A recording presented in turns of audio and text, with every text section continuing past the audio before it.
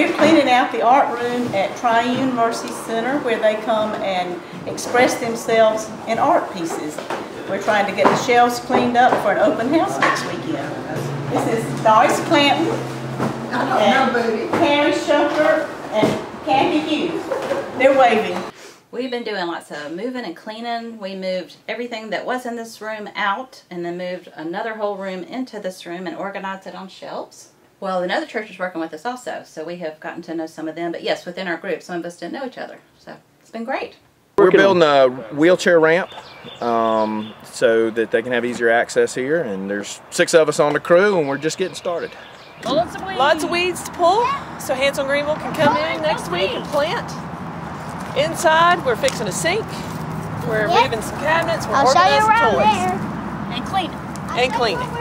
In here, we are cleaning up, cleaning up the toys like books and stuff. We're, we're here helping the Fasous, and we're serving Shepherd's Gate uh, home for homeless women, and we're helping with McCall Hospice, putting together love packs for them. Uh, I'm helping Tia as she helps us uh, move stuff from one place to another, and we're just glad to be here. I think, I, I think this is my, I want to say my third, second or third year doing this, and I enjoy every bit of it.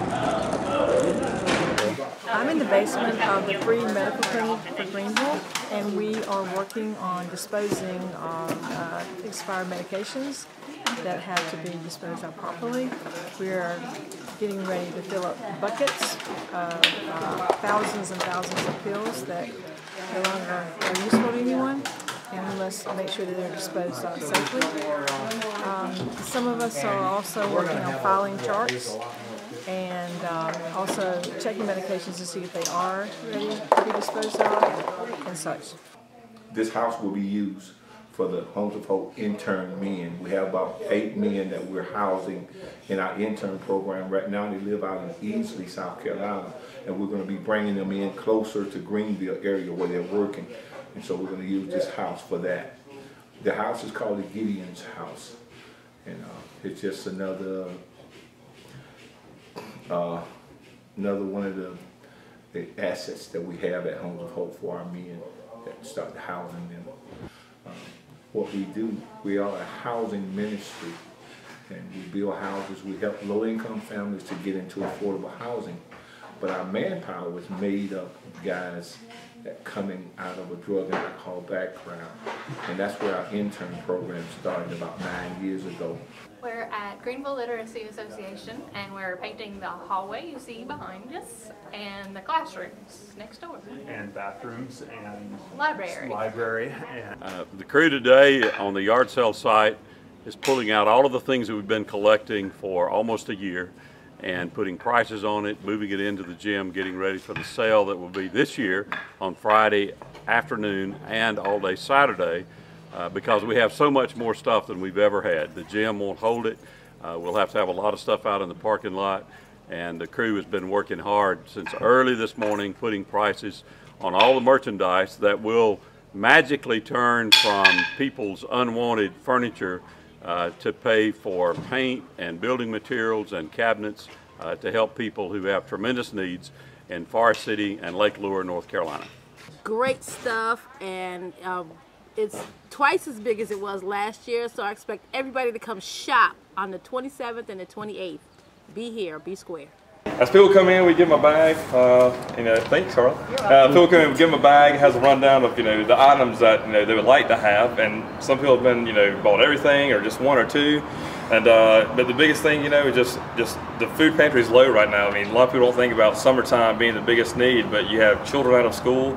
They don't have the, they don't have that meal at lunch that they would otherwise get at school. And a lot of people at tax season, a lot of people that money is taken out, you know, and it's donate, it's moved to other things, paying their taxes, and a lot of people don't have a lot of more money to donate. So, uh, you know, and uh, Keith Trout from United Ministries was telling us this is a very needy time. The cupboards are bare, and not only at United Ministries, but I'm sure at a lot of others around the around the community. So uh, the food drive has been great. So we hand the bag, people go in, they've uh, you know fill the bag up, drop it off to us. you know when they when they walk out, collected actually some money. People say, hey, I don't have time to go buy food, and, and uh, but here's some money. And you My wife Jennifer, who's inside shopping right now, but uh, we didn't know what to expect, and uh, Peggy and Ron came out and helped us out. And uh, this is the first time we've done this, and it's been great. The uh, the outpouring of support from the community, and BI-LO's been very gracious to work with us. It's uh, been a surprising turnout, a lot more, a lot more than we expected. It's been a blessing, and to see how people pull together and other you know other churches around here, Laurel First Baptist had several of their members come by and tell us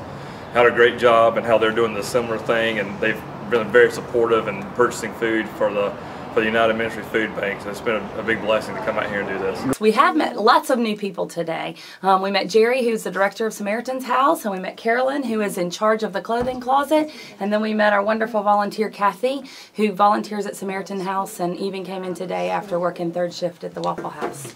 So we met three new people today and um, getting a lot of stuff done and getting things organized for them. Uh, people really use it. Yeah. And they're so grateful for these clothes. And if you have anything you want to volunteer, if you want to volunteer anything you want to bring us, we'll be happy to take it. this is the Roland McFerrin House. It is a uh, duplex, a transitional housing situation that's uh, owned and provided to us by the Greenville Unitarian Universalist Fellowship. And we have a couple of families who stay here at a given time after they've lived in the congregational rotation and uh, somebody's employed and they're ready to move forward, then we can have families living in these units uh, you know, for a couple of months or a little bit longer if they need to. We have 22 uh, of these units all over the county. Uh, more, more, than half are sponsored by congregations. For example, First Baptist, uh, through the efforts of the Missions Committee and other groups, uh, the foundation, we uh, co-sponsor the house at 8 Carter Street in uh, Nicholtown, and we got the Saver people working on the house at 58 Baxter with uh, Rick Joy and his group. This is my friend Gonzalo Flores.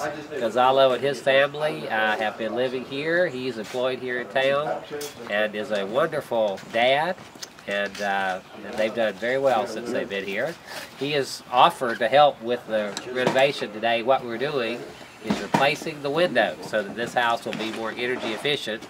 Jean Marin and uh, Brian and all the other group that are here are going to do a terrific job taking the old windows out and putting new energy efficient windows in. We're doing whatever the women tell us to do, primarily, you know.